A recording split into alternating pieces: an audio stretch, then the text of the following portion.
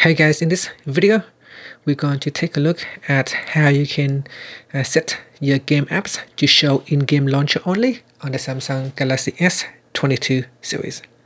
First tap on the home button to go back to the home screen.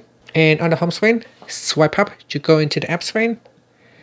And in here, tap on game launcher. Next, tap on the more button. And from the pop-up menu, tap on settings in settings, go down and tap on show game apps. Next, tap on in-game launcher only.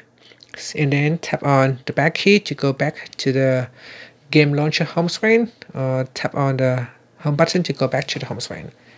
Now, if you swipe up to go into your app screen, you will see that all the games or any app that has been categorized as games will not be uh, available in here, and it will not be available on the home screen.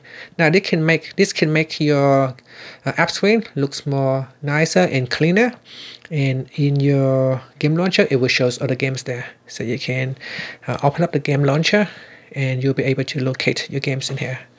And that's it. Thank you for watching this video. Please subscribe to my channel for more videos.